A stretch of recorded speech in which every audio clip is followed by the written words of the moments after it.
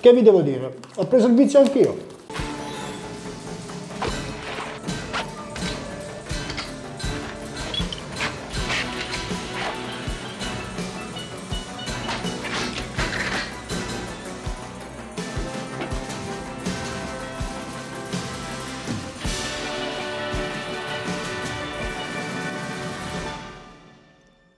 Vi lamentate sempre che faccio video contro le persone e appena avete la possibilità di scegliere, votate in massa con l'ennesimo sondaggio di fare un video contro un personaggio. Come è successo all'epoca con Scheraggi, oggi toccherà a Giovanni Fois, quindi non sarà un dissing, ma una mia recensione di Giovanni come atleta, come coach per quello che possiamo vedere sul suo canale e poi qualche considerazione come youtuber. Quindi cominciamo. Il primo video con cui voglio iniziare è la sua gara attrezzata che ha fatto, mi pare, due anni fa in FPL, quindi powerlifting completo dovrebbe essere il campione italiano di powerlifting, ma non ne sono sicuro perché non sono andato a controllare. In ogni modo è una gara in cui si fa squat, panca e stacco con l'attrezzatura. Quindi c'è il riscaldamento.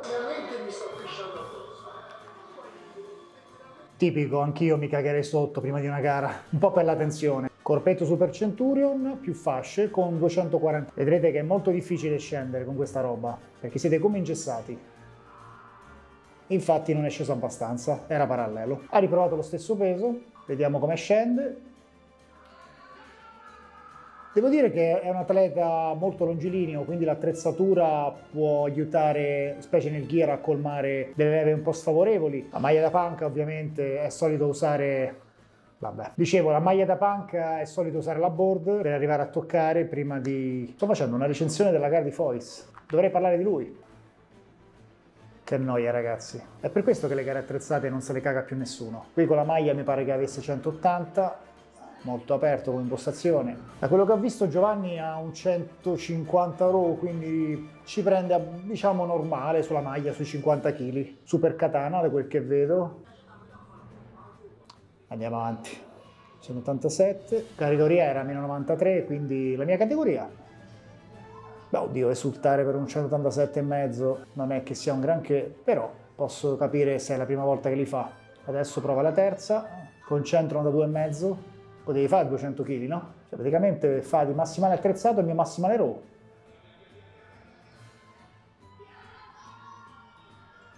Diciamo che non è la sua alzata la panca. Andiamo alla prima di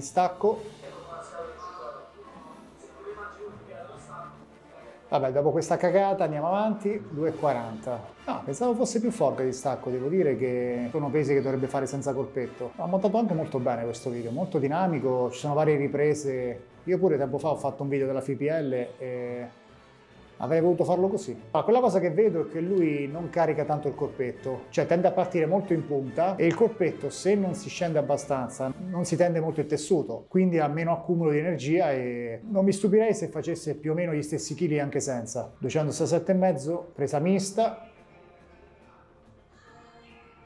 Infatti vedete come parte? Non riesce a caricare il corpetto. Come la Davide? Ma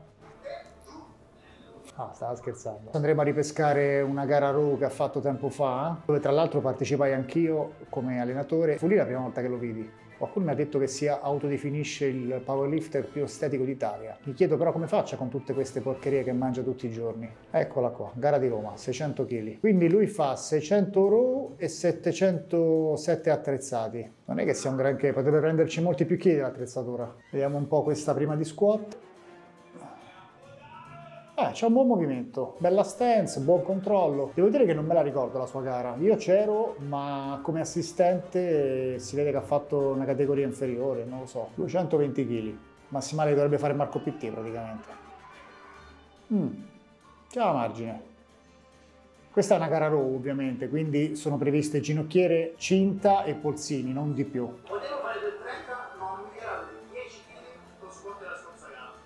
Sì, anche perché se non tiri tanto lo squat almeno arrivi più fresco alla panca. Vediamo un po', 147,5. C'è pure un buon controllo, forse userei un po' più dorso in negativa, ma mi sembra che qui un po' l'ha mollato, e infatti non l'ha fatti. Terza prova ci riprova, ma era bruciato. Fare lo squat in gara può togliere anche chili, ragazzi quindi è anche prevedibile fare un po' di meno. Capisco che lui ci sia... Non mi sa che non ci sarà una prossima volta perché dopodiché ti darai al food porn. Sì, sì, sì, bla bla bla, andiamo avanti. Ok, lo stacco, la sua alzata in cui è più predisposto. Sì, ma quanto ha fatto prima? Ho saltato? 222 e mezzo. Eh, tra un po' fai gli stessi chili di squat. Vediamo la seconda, 230, si è sprecato, poteva chiamare un po' di più. Mi correggo, considerando i chili che ha fatto con il corpetto, probabilmente ci prende più con l'attrezzatura. Però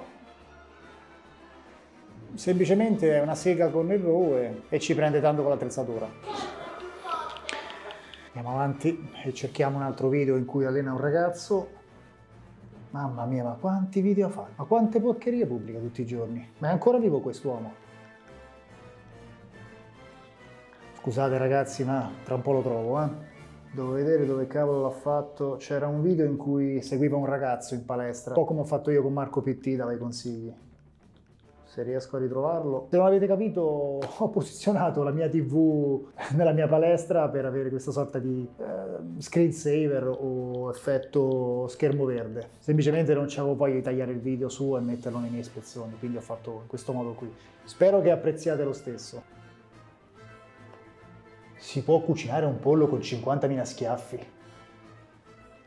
Ma c'è gente che segue questa roba? Adesso analizzeremo Giovanni come coach guardando questo video. Praticamente allena un ragazzo in palestra. Sì, sì, sì, bla bla bla. Ok. Vediamo Giovanni come personal trainer. Classico ovviamente raccontare con quanto hai iniziato, con quanto sei migliorato, vabbè, solite cose. Lo fanno tutti. La cosa che intanto mi disturba è c'è uno specchio davanti al ragazzo e quindi questo non ti permette di lavorare di propriocezione, cioè tu devi affidarti alla vista per poter capire dove sei, no? Io gli avrei detto semplicemente guarda, ribaltiamo, facciamo lo squatting fuori e, oppure cambiamo postazione. E da Giovanni che è un agonista mi aspetterei appunto che stessi attento a questi particolari, perché un in gara lo specchio non ce l'ha, quindi falsa parecchio, però comunque mi pare che il ragazzo guarda per terra e magari non lo vede.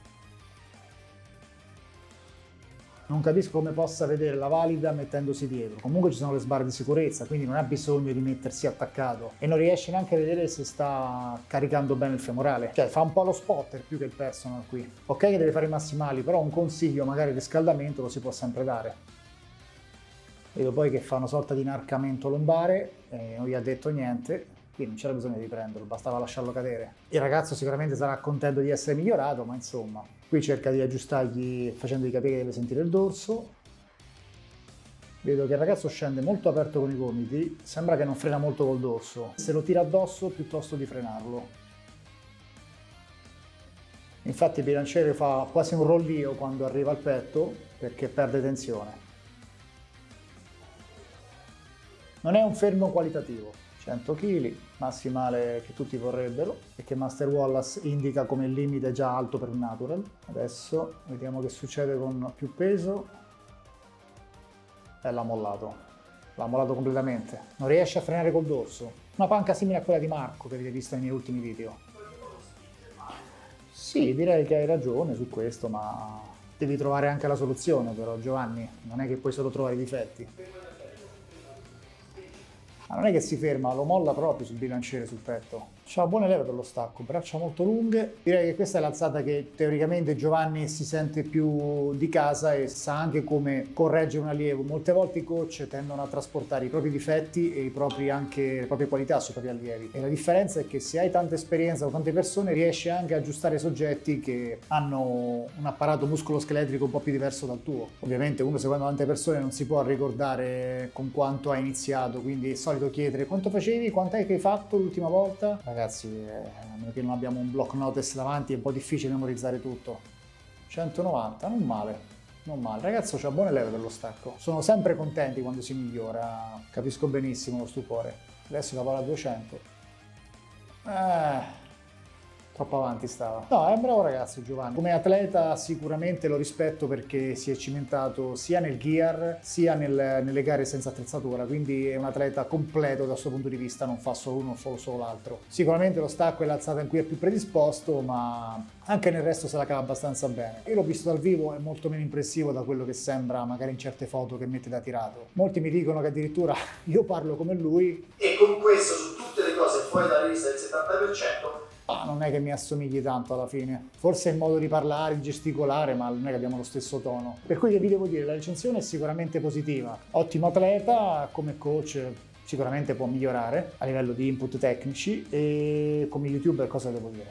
C'ha 80 volte i miei iscritti. L'unica cosa è questa sua deriva in cui punta a mangiare tutte queste porcherie. Non ho ben capito come sei riuscito a passare a 800.000 iscritti semplicemente cambiando tema al canale. Cioè da quello che mi hanno raccontato, praticamente lui dal giorno all'altro ha cominciato a fare questi tipi di video in cui mangia in ristoranti più o meno famosi e ha trascinato parecchie persone a iscriversi al suo canale. Un po' come se io con l'ultimo video di Tekken avessi sbancato e basta ragazzi, mi do al videogaming. Tutto dipende da come tu vuoi essere visto. Lui sicuramente ci avrà già il suo bel business, quindi non ha bisogno di fare il il professore di powerlifting, anche perché è uno sport che non porta soldi. L'avrà capito anche lui come l'ho capito anche io. E quindi semplicemente si dedica di fare le cose che più gli piacciono, mangiare porcherie nei ristoranti più famosi. Se vi aspettavate un video di in cui lo prendevo in giro, penso che rimarrete delusi. Alla fine ho semplicemente fatto una recensione del, delle sue gare, a meno di quel poco che ho visto, attrezzate, raw, di quel ragazzo che ha seguito come allievo e del suo canale in generale, che vedo che comunque è quotatissimo. Quindi il mio non vuole essere una marchetta, ma neanche essere un video cattivo in cui devo dissarlo per forza, anche perché Giovanni non mi ha mai fatto nulla di male. Non è che posso provocare gli altri con lo scopo poi di dissarli. Aspetto sempre che siano gli altri al massimo a farlo. Spero che siate sazi e soddisfatti di questa mia recensione su Giovanni che ripeto è un ottimo atleta, ha le alzate molto buone tecnicamente, ha una struttura abbastanza esile, forse più votata al man physique che al powerlifting, ma nonostante questo ha dei buoni numeri. Come coach magari è